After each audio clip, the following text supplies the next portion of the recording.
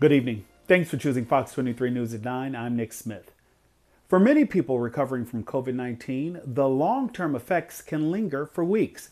Our Quentis Jones has the story of one family who is still dealing with the after effects of the virus. The kids and I had started running a fever.